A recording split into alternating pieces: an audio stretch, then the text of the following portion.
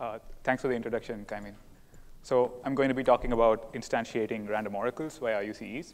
Uh, this is joint work with uh, Mihir from University of California, San Diego, and Viet Tung Hoang from University of uh, California, Davis. Our main contribution here is a new uh, definition of security. Uh, we call this universal computational extractors, or UCEs. We view UCEs as a property of keyed cryptographic hash functions.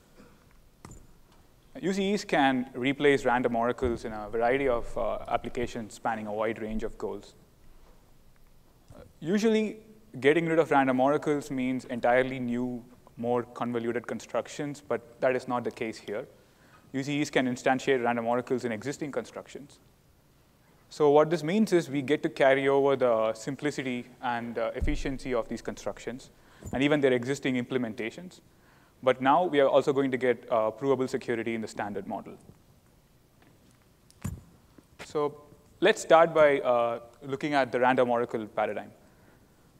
Cryptographic hash functions are often thought of as having random behavior. Uh, this is implicit in how they are used. And this was formalized uh, by Bellare and Rogaway in 93 uh, in the random oracle model. Uh, here, when we are proving the security of a construction, all parties and algorithms get access to an oracle, and this oracle essentially implements a random function. And in the random oracle paradigm, we start by proving the security of a construction with random oracles. And we instantiate this oracle with a cryptographic hash function. Security holds when this hash function behaves like a random oracle. So why do we use this paradigm? The most important reason is that it seems to be a good way of capturing how hash functions are actually used in practice. Uh, and usually, uh, random oracle model schemes tend to be simple and easier to understand. The, the paradigm itself is widely applicable, and it works in practice in the sense that implemented in-use schemes uh, under this paradigm have not failed. But the random oracle paradigm has its share of criticisms. One of the main issues is that the security guarantee resulting from this is vague to elaborate, the, the proof uh, in the random oracle model does not apply to the instantiated scheme. And secondly, it is not clear what it means when we say that the hash function should behave like a random oracle. So the problem here uh, is not necessarily that we are expecting to, something too hard from the hash functions, but it's the lack of clarity uh, as to the role we want the hash function to play. And in this work, we seek to resolve this issue to do so, we, what we need is a new, uh, new, new definition. So basically a standard model security notion that captures the security of hash functions. And we want this notion to be falsifiable in the sense that if a candidate hash function fails to meet this goal, then there must, uh, it must be possible to produce a counterexample to that effect. And once we have such a notion, our, ho our hope is to move to this instantiable random oracle paradigm, here, as before, we'll start by proving the security with random oracles, and then we'll instantiate this oracle with a hash function. But now, additionally, uh, we'll be able to show that as long as this hash function meets this new definition, uh, we get security for our scheme. So this third step is going to enable getting provable security in the standard model. So one of the questions that comes to mind is how ambitious or how broad we, can, we want to be with this approach. Specifically, can we hope to get rid of random oracles everywhere? Uh, the answer to this turns out to be no, uh, because we know of uninstantiable constructions in the random oracle model. One specific example is due to uh, Canetti, Goldreich, and Halevi, and later on improved by uh, Maurer, Renner, and Hollenstein. They show that uh, there exist encryption schemes that are secure in the random oracle model, but insecure for all instantiations of this oracle. And there have been other counter examples uh, along this vein. So what this means is that uh, in the best case, we can hope for this notion to cover a large and interesting class of uh, random oracle uh, instantiations. And that is what we're going to achieve, hope to achieve with UCEs. So this perspective is not a new one. There have been other interesting approaches about capturing properties of hash, hash functions and using this to uh, get rid of random oracles within limited uh, domains of applications. Pseudo-random functions, of course, predate the random oracle paradigm, but we can look at this as enabling random oracles in situations where the oracle itself is not public. So this works in symmetric cryptography, but we can't extend this to asymmetric crypto. Other notable uh, approaches include perfectly one-way hash functions. non-malleable hash functions, and correlated input hash functions. So what is common to all these approaches is that they, have, they, seek limited applicability, but the emphasis is on achieving constructions that uh, meet these notions, starting from existing standard model assumptions. And as we'll see, our perspective here is going to be the opposite. So we are going to seek broader applicability. Okay, so now we are, uh, we are ready to define this new notion, uh, UCE. But let's first start by quickly refreshing the syntax of keyed hash functions. So a, a hash function family consists of two algorithms. There's key generation and there's hashing. Uh, key generation produces a key, and hashing takes this key and an input and produces a deterministic hash. Sometimes there's a length input to this hash function, but we will ignore this for this talk. And as an example, we want to think of something like HMAC with SHA-256. Okay, so let's uh, define UCE security. The security game starts by picking a random bit B and also a hash key K. And after this is done, the game runs a source, S. Now, we want to think of this source as the first stage of the adversary. So the, so, uh, the source starts running, and it gets to talk to this oracle hash. If b is 1, this, uh, uh, this hash oracle is implemented by the real hash function, and if b is 0, it, it's implemented by a random function. The source can interact with this hash, make a bunch of queries, and so on, and it finally exits uh, with output L. L is a string. We call it the leakage. And when the source has stopped running, then the second adversarial stage, called the distinguisher, starts running. The distinguisher gets this leakage, but it also gets the key that was potentially used in the first stage. And given the leakage and the key, the distinguisher should predict the, the, uh, the bit B that was chosen in the game. With this source and distinguisher, we associate an advantage measure, which essentially is the probability of guessing B uh, with appropriate scaling. And we'd like to say that this hash function family is UCE secure if this advantage is negligible for all sources and all distinguishers, but this turns out to be vacuous. Uh, and the reason is that you can always come up with sources and distinguishers that will uh, break this game and essentially win it all the time. So informally, the strategy of the source would be to make a bunch of queries and then completely reveal the transcript of its interaction uh, through the leakage. And given the key, the distinguisher can just check if, this, uh, if, if the revealed transcript matches with the real hash function or not. So to be more specific, the source picks a random x, queries it at hash to get y, and leaks both x and y. And now given the key, the distinguisher should just check if uh, h of k comma x equal to y. This will happen if b is 1 and won't happen if b is 0. So this attack works almost all the time, and it works against all hash functions. It, it's also a trivial attack in the sense that it does not really take into account anything about the hash function itself. We can avoid uh, these kinds of trivial attacks if we limit or constrain what the source is allowed to leak.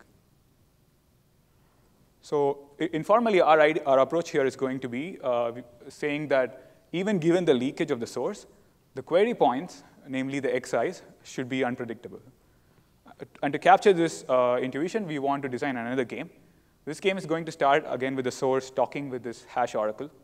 But now hash is always going to be implemented by a random function. So the source, after a while, is going to stop with leakage L. And now we are going to run another uh, algorithm, P. Uh, we call this the predictor. And the predictor runs on the leakage. Its aim is to guess at least one of the query points of the source. So we associate an advantage measure to this effect. And we say that the source is unpredictable if no predictor uh, has non-negligible advantage in uh, guessing the query points. And now we can define security. We basically restrict attention only to unpredictable sources. So we say that a hash function family is UCE1 secure if the advantage that we defined a couple of slides ago is negligible for all unpredictable sources and for all uh, distinguishers. So we emphasize that this unpredictability property is just uh, something about the source. It does not involve the hash function. As we can see, the hash function features nowhere uh, in this definition. So UCE actually is a family of assumptions. What we just defined was uh, what we call UCE1 security. In the paper, we describe a stronger notion called UCE2. The security game is the same, but we, we are going to restrict attention to another class of sources here, uh, which have the property called, they're all reset secure. And UCE2 is stronger in the sense that it implies UCE1. both of these notions can be extended to multiple keys, so we call them MUCE1 and MUCE2. And in the paper, we discuss relations between these notions.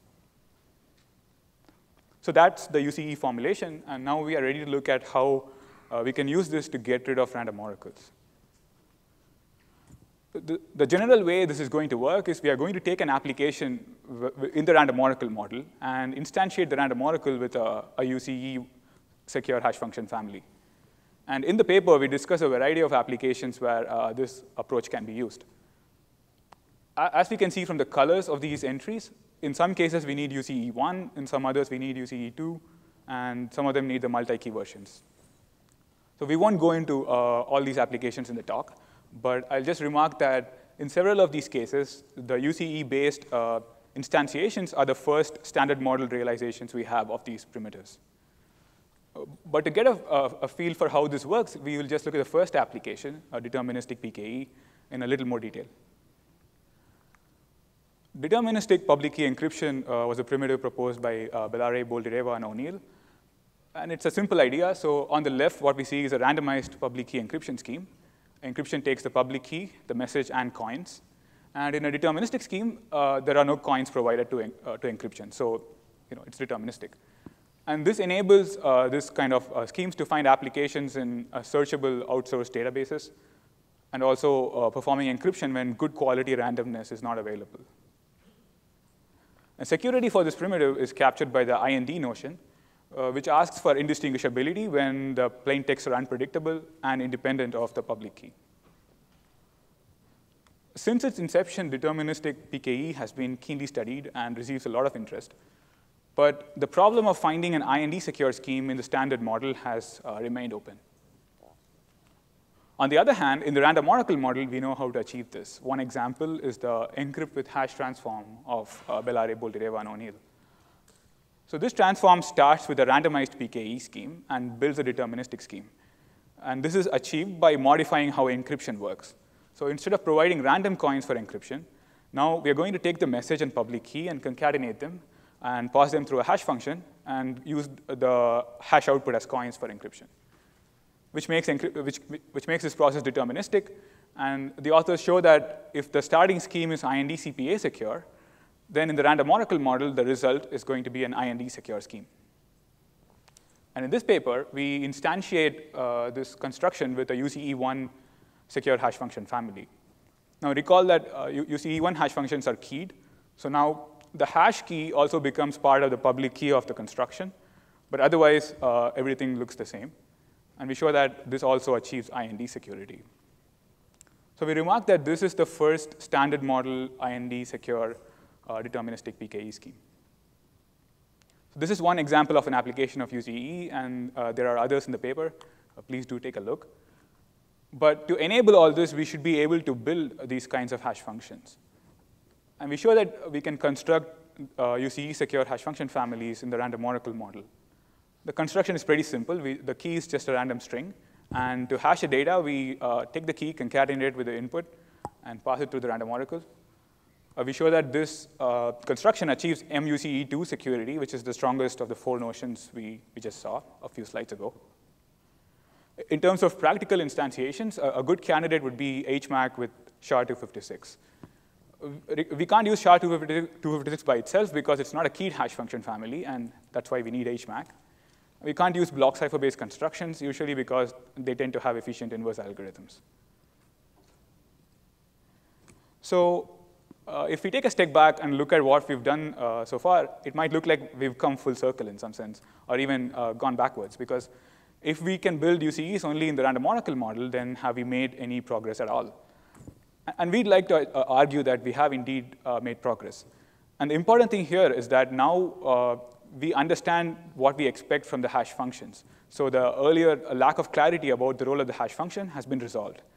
Uh, for example, if we assume that HMAC with SHA-256 is UCE1 secure, we are clear about what we are assuming. We know what, in, what constitutes an attack, and we have a clear target for cryptanalysis. And to take stock of this, we, we draw a parallel with the state of pairing-based cryptography. So here the generic group model forms a base. And on top of this, we have several assumptions. These assumptions have been uh, conceived of towards proving security for the constructions that we want to build. And when we come up with a new assumption, we usually gain confidence in it by uh, providing a proof in a generic group model. Now, the model itself is subject to issues and counterexamples, just as the random oracle model. But in spite of this, the paradigm works. It enables us to get new functionalities. Uh, we understand what we are assuming, and we have a falsifiable standard model starting points to prove the security of our constructions. And our vision is to look at a similar uh, direction for the random oracle model. So on top of the base random oracle model, we, we could have uh, assumptions, like the UCE family of assumptions riding over this. And these assumptions would be standard model, which means the constructions we build uh, will also be in the standard model. But to convince ourselves of their validity, we might provide proofs with random oracles. And we hope that this will bring in the same kinds of benefits as it has done in the pairing-based world. So UCE is still a, a, very new idea, so there are a, a, a, bunch of interesting open questions. We provide a list of applications in the paper, but this is by no means exhaustive, and there, there could be uh, lots of other places where UCEs can replace random oracles. Another direction is to look at restricted uh, UCE notions that can be built from existing standard model assumptions. Our go-to construction has been HMAC with a hash function like SHA. So we want to see if we can prove the security of this, starting from an ideal compression function. And along similar lines, we want to look at domain extension for UCEs. So if we, if we have uh, fixed input length UCEs, can we build variable input length uh, hash functions from this? So to conclude the talk, what we looked at here was a new definition for the security of keyed hash functions called universal computational extractors, or UCEs. We showed that these can uh, replace random oracles in a variety of constructions and places. So uh, they get rid of random oracles in existing constructions, which mean that we get to carry over the efficiency, uh, modularity, and practicality of these schemes, but now we also get proofs in the standard model. That's it. Thank you.